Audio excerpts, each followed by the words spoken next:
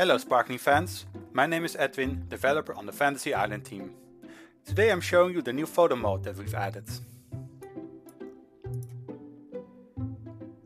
We saw that you love sharing your screenshots, so we've made it easier for you to do so. On the bottom right of the screen, you will find a new button with a camera icon on it. Press it and move the camera around to find the perfect scene for your picture. After taking the picture, you will be able to add some details about your island or an image of the inhabitants of the tribe you're taking a picture of.